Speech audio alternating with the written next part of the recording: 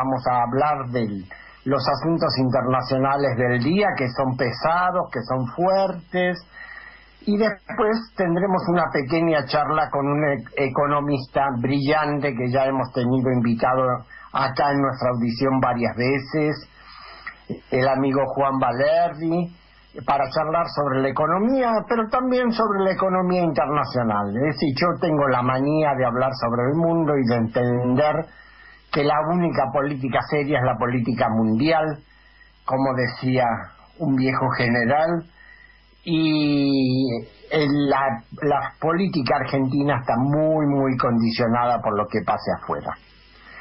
Tenemos un día muy especial en el mundo. Hoy hay elecciones en los Estados Unidos. O en realidad yo tendría que decir, para ser más preciso, hoy se está haciendo la fase presencial de las elecciones en los Estados Unidos. Ustedes me van a decir, este tipo está loco. O, hay elecciones o no hay elecciones. Lo que pasa es que el sistema electoral norteamericano es tan loco que primero ya están votando por correo desde hace eh, un par de meses. Es decir, ya han votado 100 millones de electores, han eh, eh, enviado su voto y eso todavía tiene que ser recontado.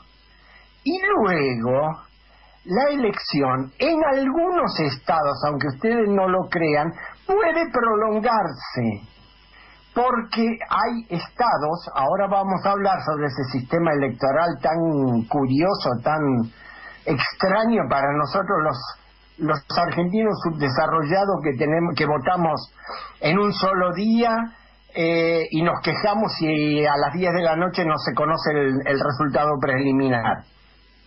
Estados Unidos no es así. Estados Unidos no es así. Cada estado tiene su propio sistema electoral y en cada estado eh, los registros, es decir, los padrones electorales se rigen por una normativa diferente. Hay estados en que, por ejemplo, quienes han tenido alguna pena de prisión no pueden volver a votar en toda su vida. Eh, hay otros, en general hay que inscribirse. Hay muchos estados en los que cuando uno se inscribe en el padrón, tiene que decir a qué partido pertenece, o sea, no sé dónde, dónde se puede el voto se haya mandado hoy por correo, por ejemplo, en un estado muy, muy, muy peleado, que es el estado de Pensilvania, el voto que se haya mandado hasta el día de hoy por correo vale. O sea, si el, si el, si el sobre llega el jueves o viernes, lo tienen en cuenta. Por eso yo dije que lo que hoy tenemos es la fase presencial de la elección norteamericana. ¿Qué es lo que puede pasar? La verdad que esta vez puede pasar de todo. Para enfocar y ubicar históricamente esta elección, yo vengo diciendo en mis artículos periodísticos desde hace un tiempo que esta es la elección norteamericana más peleada desde 1860. 1860, de la elección, ¿se acuerdan de un señor Abraham Lincoln? Bueno, es la elección que ganó Abraham Lincoln. Cuando Abraham Lincoln ganó la elección, los estados del sur se separaron de la Unión. Pero aclaremos, porque no fue por la cuestión de la esclavitud. La cuestión de la esclavitud estaba en debate, pero Lincoln no la ponía en duda en ese momento. Más adelante, durante la guerra, decretó la abolición de la esclavitud. Lincoln solamente se oponía a que la esclavitud se extendiera a otros estados, hacia los nuevos territorios que ellos habían conquistado en el oeste. El problema de la de la elección de 1860 fue un problema que se plantea ahora nuevamente. ¿Quién decide? Decide la, República, o sea, la Unión, los, los órganos federales como representativos de, la, de los Estados Unidos o deciden cada estado y cada comunidad por su lado. Porque precisamente lo que se está oponiendo en los últimos años, y eso es lo que hace tan trascendente a esta elección, es la, la decisión sobre eh, eh, los derechos de cada uno. Y los derechos de las minorías han proliferado las minorías en Estados Unidos, tanto las minorías étnicas como las minorías religiosas, como las minorías de género, eh, es decir, en cada lugar, en cada situación hay grupos y, organizados como minorías que reivindican sus derechos especiales. Y por el contrario, una posición muy conservadora, que es la de Donald Trump, que dice primero la patria. Entonces, primero los derechos de los Estados Unidos, los derechos del Estado norteamericano, luego los derechos de los individuos. De ese modo, lo que está en juego es de algún modo parecido a lo que pasaba hace 160 años. Puede haber una guerra civil, como hablan en muchos medios, como se ha anunciado por muchos observadores en medios de todo el mundo.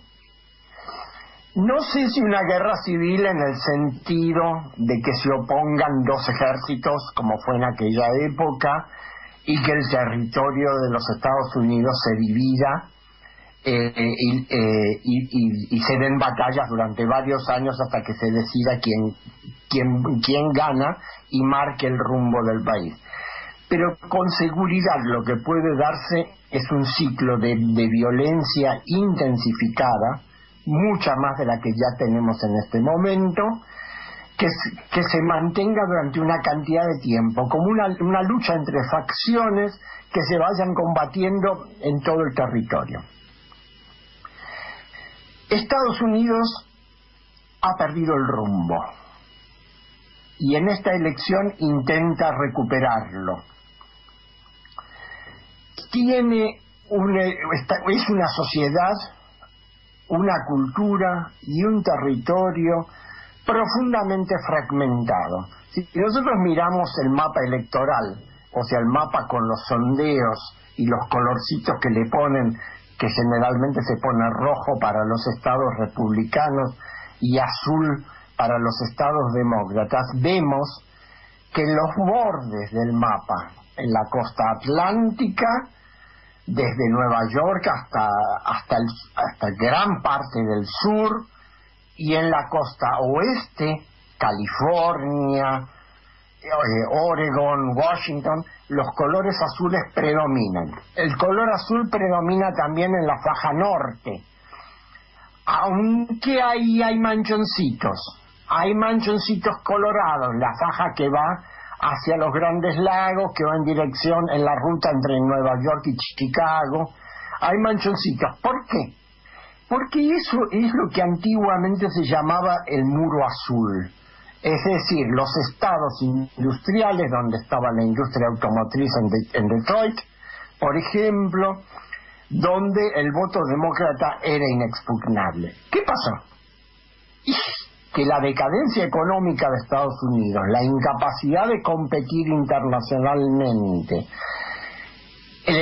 la deriva hacia los negocios financieros hicieron que la industria norteamericana perdiera competitividad y que muchas fábricas en el norte, en esa zona, en esa línea del norte, en ese muro azul, cerraran. Y al cerrar y aumentar el desempleo, apareció en la elección de 2016 un señor Trump que aprovechó la decepción, el desencanto, la desesperanza de, los, de las viejas poblaciones trabajadoras blancas y les prometió el oro y el moro, les prometió América primero, hagan América grande otra vez, esa fue su consigna.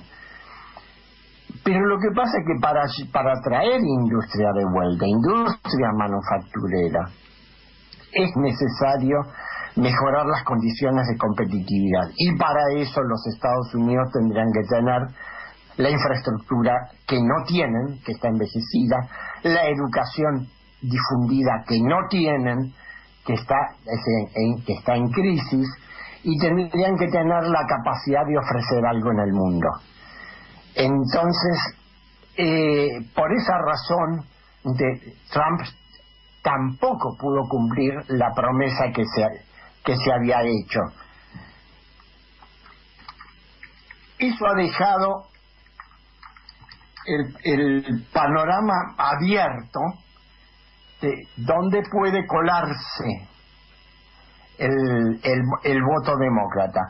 Es decir, todos los, los índices de las de las encuestas están señalando